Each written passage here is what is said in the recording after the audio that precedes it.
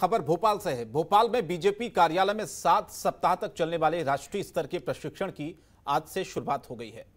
जहाँ मुख्यमंत्री शिवराज सिंह चौहान ने इस प्रशिक्षण वर्ग में वर्चुअली माध्यम से कार्यकर्ताओं को प्रशिक्षित किया। प्रशिक्षण को लेकर बीजेपी प्रदेश अध्यक्ष बी शर्मा का बयान भी सामने आया है। उन्होंने कहा है कि आज से बीजेपी कार्यकर्ताओं का राष्ट्रीय स्तर का प्रशिक्षण शुरू हुआ है और कल यानी कि 21 जून से महा वैक्सीनेशन का अभियान शुरू होगा और इस अभियान के लिए 7000 सेंटर पर एक दिन में 10 लाख वैक्सीनेशन का लक्ष्य रखा गया है। बीजेपी के कार्यकर्ता हेल्प डेस्क लगाकर वैक्सीनेशन सेंटर पर काम करेंगे। 21 जून को होने वाले योग दिवस को लेकर भी हर एक मंडल में दो जगहों पर कार्यक्रम होंगे।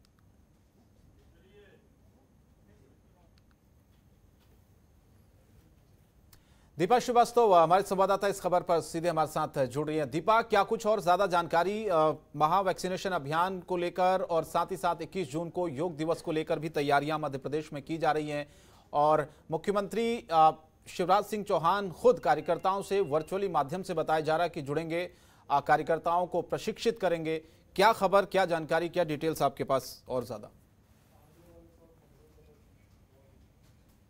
जी, जिस तरह से हम देखते, देख सकते हैं कि बीजेपी की अगर बात की जाए तो प्रशिक्षण में काफ़ी ज़्यादा बिलीव किया जाता है और कहा जाए जो भी कार्यकर्ता बीजेपी से जुड़ते हैं, उनके द्वारा उन सभी को प्रशिक्षित करने का काम जो है वो भी बीजेपी लगातार करती है और कोशिश यही की जाती है कि जो भी जो नए कार्यकर्ता बीजेपी से जुड़े हैं, उन्हें बीजेपी की कार्यशैली जो है उसके बारे में जानकारी दी जा सके। तो इसी कड़ी में, आज जिस तरह से क्योंकि कोरोना काल के कारण कहीं ना कहीं जो प्रशिक्षण का कार्य जो किया जाता है वो कहीं ना कहीं नहीं हो पा रहा था तो आज से प्रशिक्षण वर्ग की शुरुआत की गई है, जहाँ पर सबसे पहले सीएम शिवराज सिंह चौहान जो है उन्होंने वर्चुअल माध्यम से जो भी कार्यकर्ता थे उन सभी को प्रशिक्षित करने का काम किया यानी कि संबोधित किया। उसके बाद आज से इस अभियान कार्य प्रशिक्षण वर्ग जो है उसकी शुरुआत की जा रही है जहाँ पर जो भी कार्यकर्ता है उन्हें बीजेपी की कहा जाए कि जो भी कार्यशैली है उससे जोड़ने का प्रयास किया जाएगा जिसके लिए बीजेपी के सभी बात की जाए भले विधायकों की बात करें या फिर जो भी कैबिनेट मंत्री ही क्यों ना हो सभी एक एक करके जो कार्यकर्ता है उनसे जुड़ेंगे उनसे चर्चा करेंगे उनको शिक्षा देने का काम करेंगे जिससे कि बीजेपी की जो कार्यशैली है उससे जुड़ सके और कहीं ना कहीं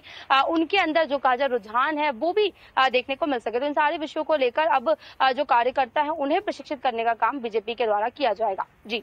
बिल्कुल ये प्रशिक्षण दिया जाएगा और ज़ाहिर तौर पर और योग दिवस को लेकर जो एक महा वैक्सीनेशन अभियान की जो बात कही जा रही थी मध्य प्रदेश में आ, बिल्कुल नज़दीक है एक दिन का समय बचा हुआ है। कितने सेंटर्स दीपा वहाँ पर बनाए गए हैं किस तरह से ये महा वैक्सीनेशन अभियान की कल शुरुआत होगी और ख़ास तौर पर योग दिवस के दिन क्या प्रदेश में कार्यक्रम योग दिवस को और भव्य बना? क्योंकि कोरोना है ज़ाहिर तौर पर, उतना भव्य तरीके से शायद ना हो पाए जितना कि हर बार होता है। लेकिन फिर भी अंतर्राष्ट्रीय योग दिवस है तो ज़ाहिर तौर पर अपनी मौजूदगी सभी लोग इसमें दर्ज करवाएँगे।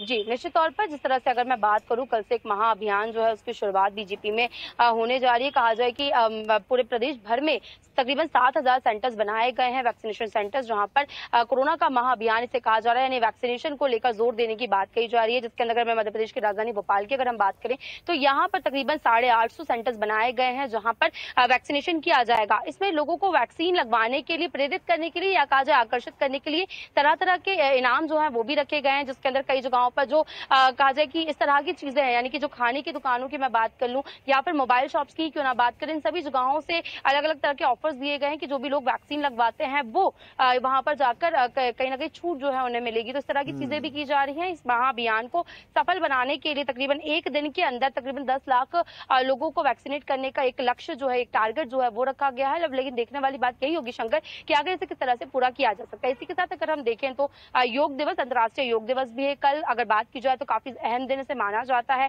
क्योंकि कहीं ना कहीं कोरोना काल में भी इसे काफ़ी कारगर माना गया है। योग को कहीं ना कहीं पूरे देश की, देश के साथ जो विदेश है पूरे विश्व में इसका इसको लेकर कई बातें निकलकर सामने आई। कई लोगों ने ये भी कहा कि योग करने से कहीं ना कहीं इससे जो काजा कोविड है, वो भी कहीं ना कहीं ठीक होता है। तो इस तरह की बातें भी सामने आई है। तो निश्चित तौर पर कल भी जिस तरह से प्रदेश अध्यक्ष पी शर्मा है और सीएम शिवराज सिंह चौहान जो है, खुद मौजूद रहेंगे अपनी मौजूदगी में।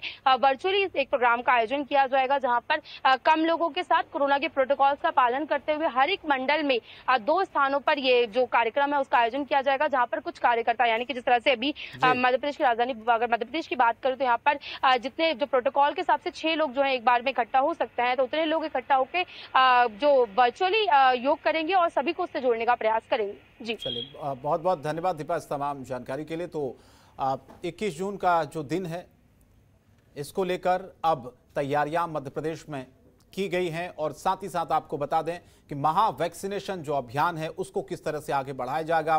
वैक्सीनेशन सेंटर्स बनाए गए हैं, लोगों को ज़्यादा से ज़्यादा जागरूक किया जा रहा है कि आगे आकर वैक्सीन लगवाएँ और इसीलिए अब ये कार्यक्रम की शुरुआत भी मध्य प्रदेश में कल शुरू होगा, जो महा वैक्सीनेशन अभियान जिसकी बात हम कर रहे हैं। आगे बढ़ते हैं खबर भोपाल से। भोपाल में मध्य प्रदेश के मुख्यमंत्री शिवराज सिंह चौहान ने कोरोना महामारी को लेकर कहा है कि अभी कोरोना का संकट खत्म नहीं हुआ है, इसीलिए तीसरी लहर अपना कहर बर, नहीं बरपा पाए, इसके लिए हम समय रहते उपाय कर रहे हैं।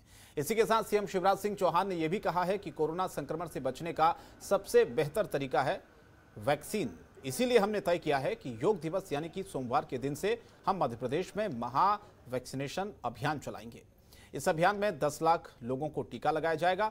साथ ही सीएम शिवराज ने अपील करते हुए कहा है कि सभी समाज सेवक समाज सेवी संस्थाएँ टीकाकरण अभियान में आगे आकर इसको सफल बनाएँ।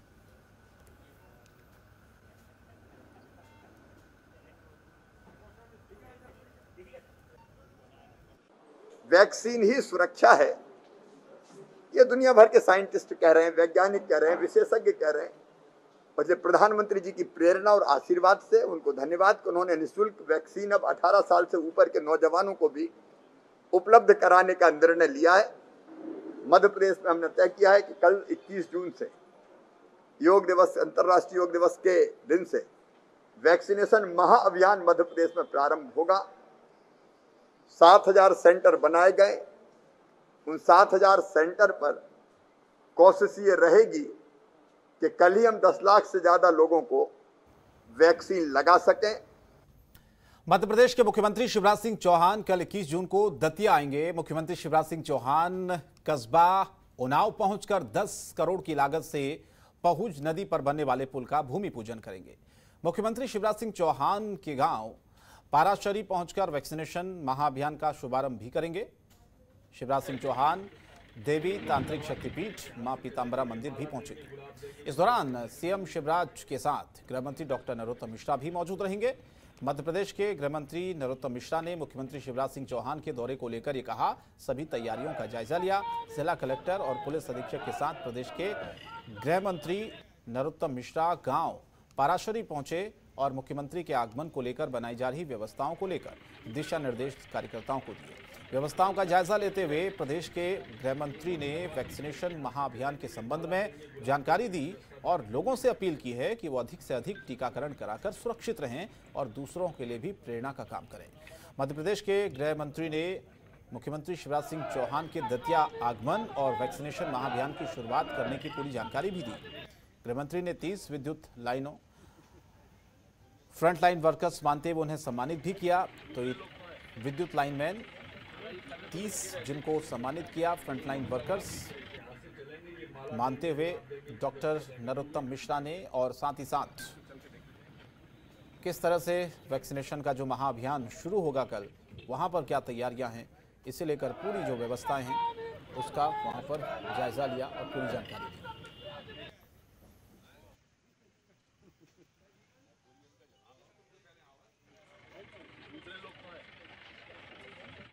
अभियान प्रारंभ किया उसमें बढ़ चढ़ के भाग और वैक्सीन लगवाई यही वैक्सीन होगी जो हमारे मन में उपजी तीसरी लहर की अज्ञात आशंकाओं से हमें बाहर निकालेगी।